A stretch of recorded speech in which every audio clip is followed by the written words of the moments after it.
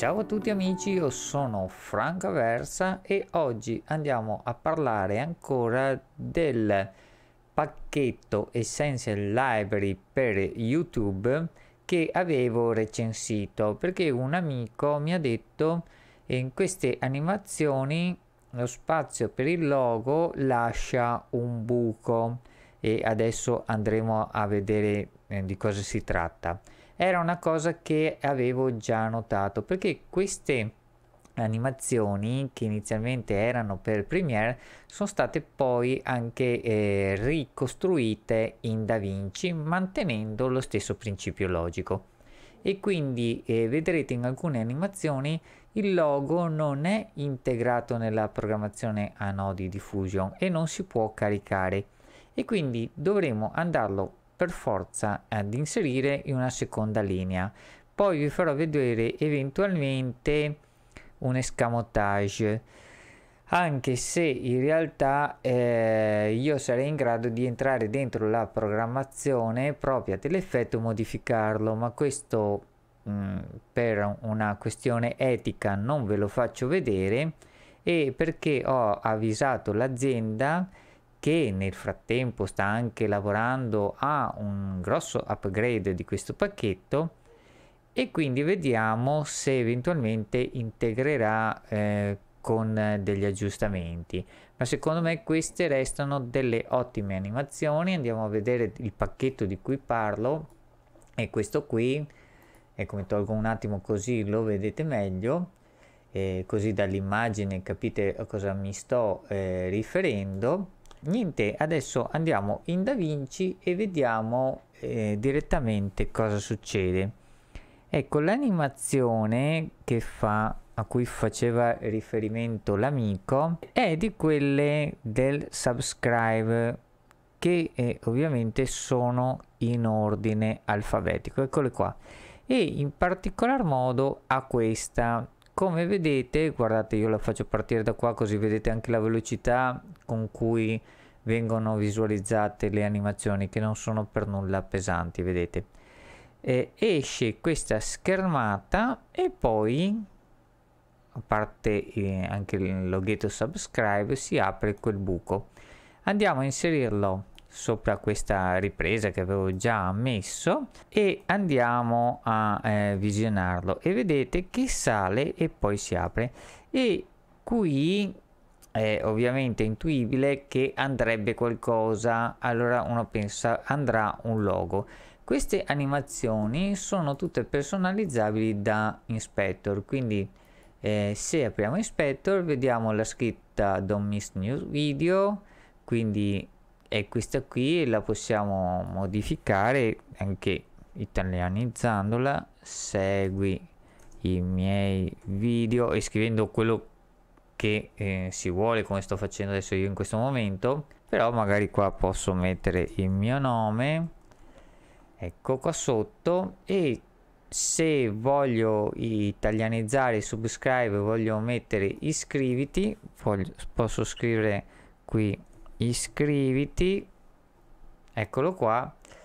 E questo sarebbe quando poi verrà schiacciato mm, il pulsante vedete viene iscritto e quindi qui vado a mettere iscritto. Eccolo qua. E qua avrò l'animazione e ecco qua abbiamo rimpiazzato come vedete un attimo tutte le scritte. Eccolo qua eh, però appunto vediamo che resta il buco. Ma se continuiamo vediamo che non troviamo nulla inerente a un possibile logo da caricare. Perché? Perché come detto questa animazione è semplicemente pensata spostandola su un'altra linea. Prendiamo un nostro logo ora io lo andrò a caricare eccolo qua e inserendolo sotto. L'unico problema è che molte di queste animazioni come vedete ad esempio salgono. E quindi bisogna identificare la zona dell'animazione dove si sta ecco qua per aprire il cerchio. Quindi bisogna portarsi qui. E in questo punto cioè quando ormai lo schermo è completo andare a inserire qui nostro, il nostro logo e ovviamente ridimensionarlo. A questo punto ci conviene andare quando il avanti quando il buco sarà aperto del tutto. Eccolo qua. E quindi andare sulla ripresa sotto del logo ridimensionarlo. Eccolo qua. E posizionarlo spostarlo. Quindi andiamo così e andiamo giù. Ricordatevi che se premete questo pulsante qui questo schermo come vedete ora è possibile spostarlo qua e quindi è molto più semplice fare l'operazione magari che farla dall'altra parte. Come vedete lo posizioniamo e in questa maniera possiamo vedere anche la dimensione. Quindi zoom vedete eccolo qua. Possiamo posizionarla poi finemente magari usando anche i cursori Unica cosa da, stare, da fare attenzione è se l'animazione va via, ma questa è un'animazione che resterà lì fino alla fine e quindi va bene così. E quindi avremo, come vedete, sale e si apre con il logo. Non è una cosa complicatissima, però sarebbe stato più carino se il logo fosse stato inserito dentro l'animazione. Un'altra soluzione eh, che potrebbe risolverci il discorso per sé senza star lì ogni volta a dover inserire la seconda linea e quindi dover usare anche una seconda linea è quella di riportare eh, l'animazione in posizione normale senza logo e spostarci in Fusion. Come vedete in Fusion l'effetto, tutta l'animazione è data da un unico nodo e quindi non possiamo in nessuna maniera intervenire. Come vedete si aprirà sempre Inspector però questo non cambia niente.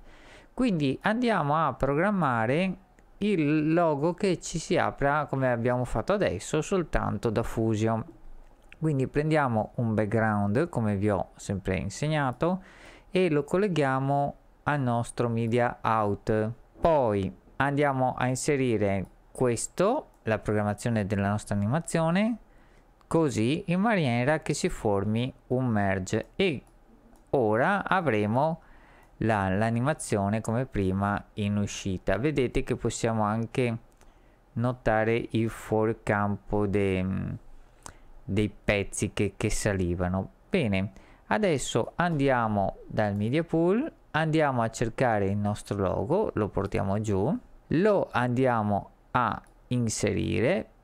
Andiamo a visualizzarlo. Ovviamente per vedere in uscita dovremo mettere media out e premere 2 eccolo qua. Attenzione background che dovrà essere trasparente quindi abbassiamo l'alfa.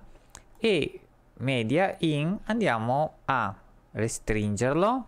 Dobbiamo usare un transform qui. Andiamo a inserire qui e con questo transform potremo sia dimensionare il logo che posizionarlo qui da center. Vedete andiamo a spostarlo come prima. Facciamo riferimento all'asse centrale questo qui e lo andiamo a posizionare qui. E come dimensione ora possiamo ridimensionarlo finché ecco sia così. Attenzione che se torniamo indietro a un certo punto vedremo comparire il nostro logo perché il nostro logo è sempre sotto. Qua possiamo fare due cose, possiamo portarci qui dove il logo è coperto, andare in media in e tagliare il nostro logo, vedete? Questo è da dove incomincia a apparire global in, da dove incomincia a apparire il logo sulla nostra animazione. Accorciando questo possiamo far apparire al sedicesimo frame il nostro logo. Qui siamo a 15 frame, quindi prima non si vedrà. Proviamo a tornare dietro e infatti vedete che non si vede nulla. Andiamo avanti e quando il bianco qui si aprirà ci sarà già sotto il nostro loghetto. Eccolo qua. Quindi cosa possiamo fare per non ripetere ogni volta questa cosa? Semplicemente andiamo a sottolineare tutto. Salviamo l'animazione con un nome sul desktop dove vogliamo e magari poi la, ce la possiamo spostare nel Power Beam. Quando torniamo qui vedete che abbiamo qua la nostra animazione questa la buttiamo via. Al posto di questa mettiamo una new fusion composition. Abbiate pazienza basta fare una volta solo questa cosa. Andiamo in fusion e trasciniamo giù la nostra all'interno la nostra programmazione. La colleghiamo. Ora qui avremo la nostra programmazione. Eccola qua torniamo. Possiamo ricentrare il programma normalmente andiamo a vedere e vedremo che è la nostra. E adesso andiamo nei power bin cerchiamo se voi io ad esempio mi sono fatto una cartella youtube se no potete metterla dove volete. Io la metterò qua dentro. Potete prendere la fusion composition e trascinarla qui. Rilasciarla.